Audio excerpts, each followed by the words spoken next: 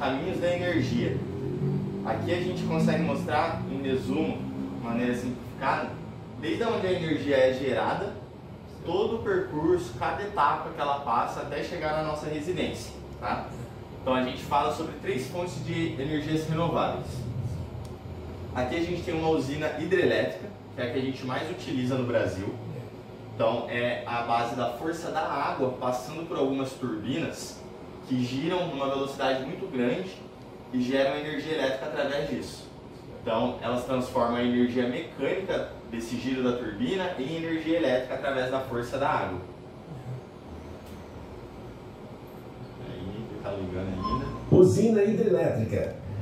A energia hidrelétrica, produzida pela força das águas de um rio, é a fonte de energia mais utilizada no Brasil. E aqui a gente tem a usina eólica, funciona de uma maneira muito semelhante. O vento passa por essas hélices, fazendo elas girarem, e isso gera energia elétrica também através da energia cinética, que é o vento girando essas hélices. Fornece a energia cinética, se transforma em energia elétrica. Usina eólica. Uma das formas mais sustentáveis de geração de energia, pois os ventos são uma fonte inesgotável de energia. Por último, a gente tem aqui a usina fotovoltaica, que a gente conhece como usina solar.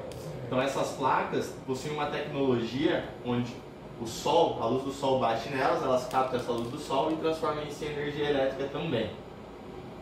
Usina fotovoltaica.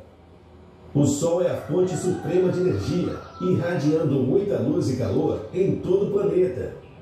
Então aqui a gente já gerou a energia elétrica, agora a gente começa todo o processo para ela chegar na nossa residência. Então a primeira etapa é essa estação aqui, que é uma estação que vai elevar a tensão da energia para que a gente consiga transportar essa energia de uma maneira mais eficiente. Subestação elevadora.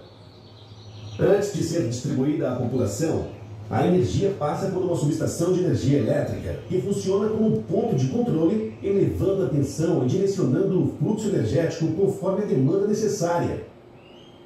E após aqui, a gente vai para as torres de transmissão.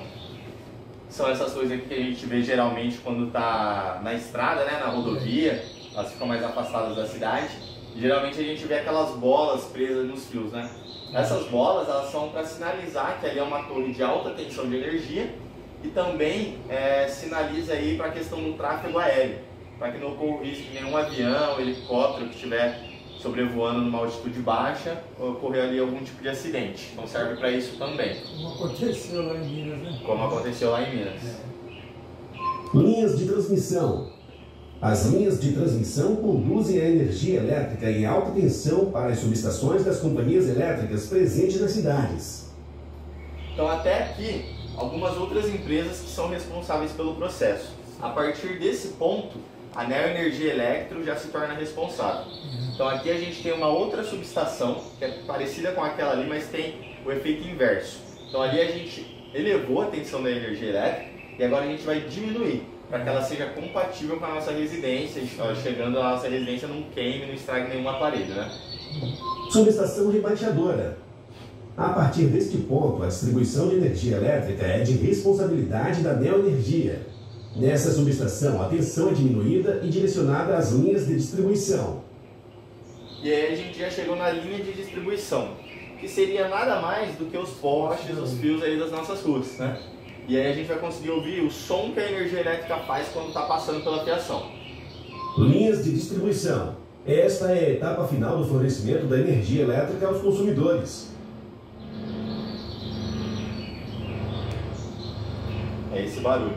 Aí você pode estar se perguntando por que, que a gente não consegue escutar esse barulho se a gente sair aqui na rua agora. Por quê? Porque existe uma coisa chamada poluição sonora, né? São a poluição sonora, todos os barulhos do nosso ambiente, principalmente nos centros urbanos, que a gente tem muitas coisas acontecendo ao mesmo tempo, a gente não acaba não conseguindo ouvir com clareza esse tipo de som. E aí a gente já chegou aqui na nossa residência.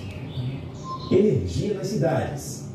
A energia elétrica proporciona o conforto de se viver em tempos modernos.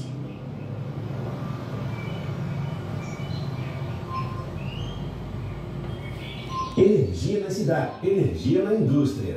O setor industrial não supriria nossas necessidades sem energia elétrica. Então, depois da nossa residência, a gente ainda tem a indústria que precisa de energia elétrica para fornecer para a gente basicamente tudo, né? Roupas, móveis, carros, tudo que precisa, é, que a gente precisa aí para nossa até sobrevivência né? no nosso dia a dia. E a última etapa seria o campo, que é um pouco mais afastado, mas ainda assim precisa de energia elétrica ali, as máquinas agrícolas, o pessoal do campo, para conseguir fornecer para a gente os nossos alimentos. Energia no campo. A energia no campo proporciona maior produtividade, favorecendo nossa qualidade de vida. Muito bom! O caminho da energia elétrica está completo. Para acender uma simples lâmpada, todo esse trabalho é necessário. O Grupo Neoenergia gera e distribui energia elétrica, cuidando da qualidade e segurança para que todo o conforto da vida moderna seja possível. Então, esse é o caminho da energia. E aí, como ele mesmo disse, para a gente acender uma simples lâmpada na nossa casa, quando a gente aperta o botãozinho do interruptor, tem todo esse processo por trás e muitas vezes a gente nem faz ideia, né? Porque já está lá na nossa casa, na nossa comodidade, a gente acaba não se interessando pra, por como que a energia chegou até lá. Basicamente, de maneira simplificada, foi assim que ela chegou. Tá? Agora a gente vai falar sobre coleta seletiva. Que é esse jogo aqui, ó. Eu vou convidar os senhores a jogar, tá bom? Esse jogo ele é referente a um projeto da Neoenergia que se chama Vale Luz. A gente já roda com esse projeto em alguns outros estados. Então Pernambuco, Bahia, Rio Grande do Norte. É um projeto que já roda há algum tempo por lá e faz bastante sucesso. Como é que funciona? Nós teríamos aqui na cidade de vocês um ponto. É, esse projeto ele é itinerante, então a gente vai passando de cidade em cidade. A gente chega aqui na cidade com esse ponto de coleta. O senhor vai separar na sua casa o lixo da coleta seletiva, são esses resíduos aqui que a gente trabalha. Papel, plástico, metal, óleo vegetal e resíduos eletrônicos. Separando esses resíduos na sua casa, você traz para a gente no nosso ponto de coleta, aí você vai trazer determinada quantidade. Isso vai ser avaliado, essa quantidade de lixo que você trouxe vai ser revertida por merrecas, que a gente chama, que são nada mais são do que alguns pontos que vão ser atrelados à sua conta de energia. Então, quanto mais lixo você traz, mais pontos você ganha e mais desconto na conta de energia. Perdão. Mais desconto você tem.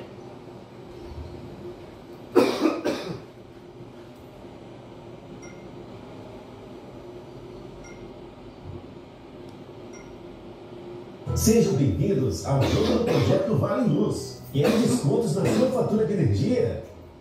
Seu material reciclável vale desconto na sua conta de luz e você ainda ajuda a preservar o meio ambiente. É simples entender.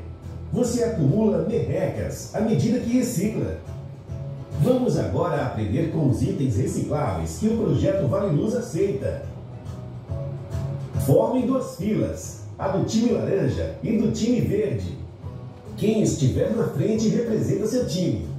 Troque de jogador quando o jogo pedir. Destine os resíduos de forma seletiva. Cada acerto vale merrecas. Quem acertar primeiro ganha mais pontos. Vocês estão prontos? Vamos lá. O senhor vem aqui desse lado. E o item que aparecer, o senhor tem que apertar a lixeira correta para jogar. Por exemplo, ali é o óleo vegetal. Aí você aperta aqui, ó. Olha lá, plástico. Lixeira do plástico é a vermelha.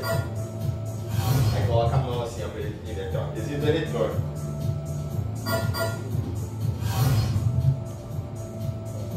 Papel, isso. Coloca, aí coloca a mão inteira assim, ó. Resíduo eletrônico aqui, ó. Sim, aí. Aí o plástico, lixeira vermelha. Vermelha. Aê! Pegou o jeito já. Trocando de jogadores. Meio ambiente preservado, Futuro assegurado. Você quer tentar aqui? Hum. Ah, Beleza. Aí, ó, metal. Plástico. Vamos lá, time laranja. Plástico.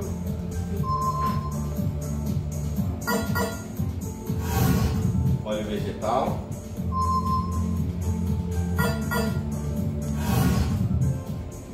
Plástico de novo. Vermelho.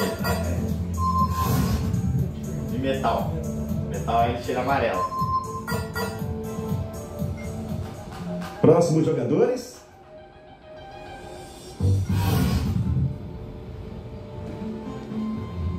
O time laranja ganhou mais merecas. Mas todos são vencedores, pois juntos somos mais fortes. Reciclaram e preservaram o meio ambiente. Parabéns!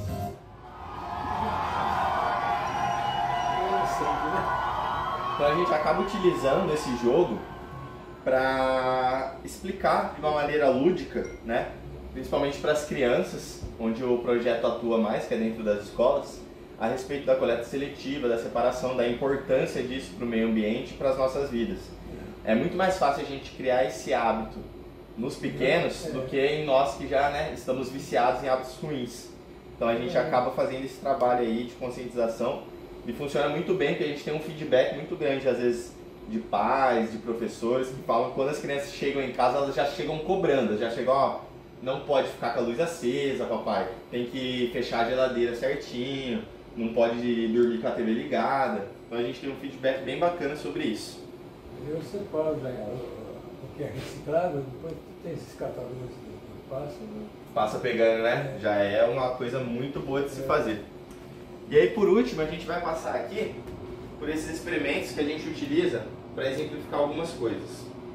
Esse daqui, a gente fala sobre os bons condutores e maus condutores de energia. Então, existem materiais que conduzem a energia elétrica com muita facilidade, né? E tem outros que nem tanto. Por exemplo, aqui nós temos seis tipos de materiais. A gente tem o latão, plástico, cobre, borracha, alumínio e a madeira.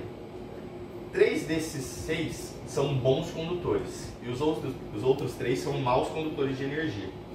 Os bons condutores são aqueles materiais que eles facilitam a passagem da energia elétrica. É, e por exemplo aqui, facilitando essa passagem, nós temos uma corrente elétrica passando aqui.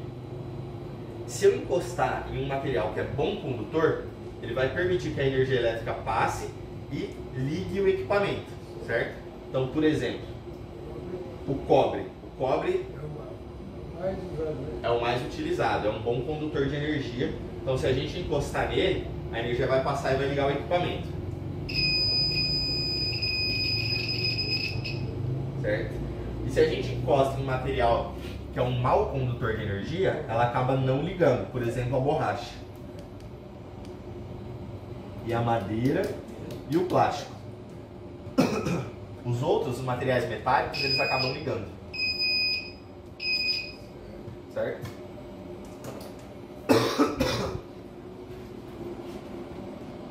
Então aqui eu vou desligar a luz para ficar mais fácil de ver. Aqui a gente tem um globo de plasma e ele mostra pra gente algumas coisas relacionadas à energia elétrica. A energia elétrica ela está contida dentro do globo e o, e o globo ele é feito de vidro e o vidro é um mau condutor de energia.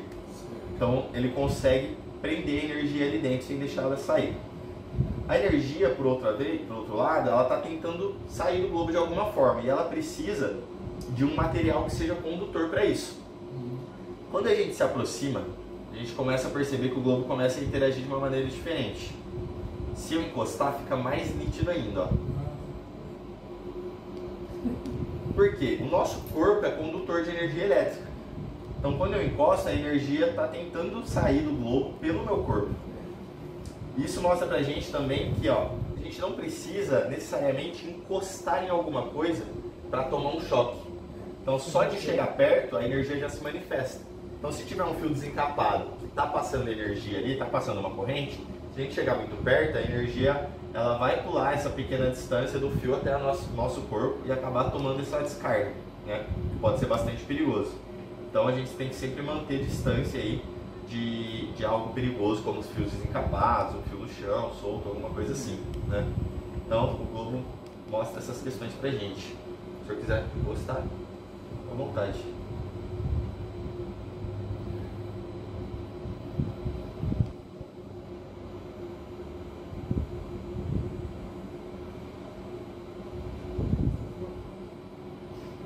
E aqui por último, a gente tem um, um desafio, né?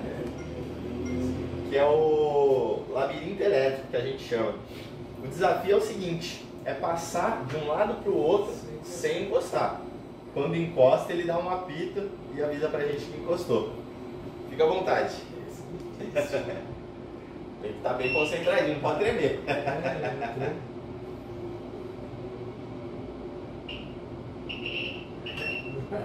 Não vai não? Você quer tentar? Não. É bem bacana. Esse aqui é o que a criançada mais gosta, É. que é a, a sensação do desafio, né? De tentar fazer e conseguir chegar até o outro lado. Porque é uma coisa simples, mas é difícil. Então, basicamente é isso o nosso, o nosso, todo o nosso trajeto, tá? O nosso percurso. Espero que vocês tenham gostado do, do nosso projeto. E na saída eu vou entregar um kit para vocês, que é um kit feito é, alguns personagens em parceria com o Carlinhos Brau. O Carlinhos Brau fez essa parceria com a Neo Energia e elaborou esses personagens para que a gente consiga alcançar um público mais infantil. Então esses personagens têm uma série de episódios que passam dicas para as crianças a respeito de algumas coisas relacionadas à segurança, ao uso consciente da energia, como não soltar pipa perto do poste, do fio, né, desligar a TV na hora de dormir, não deixar todas as luzes acesas, coisas que a gente já sabe, mas para eles é uma novidade, né, algo que eles precisam entender, precisam aprender, tá bom? Aqui? Aqui na cidade nós temos mais algum, umas duas semanas mais ou menos. Né? Aqui na praça vai ser só hoje. Por enquanto só hoje. Semana que vem a gente vai estar atendendo a escola estadual Madalena.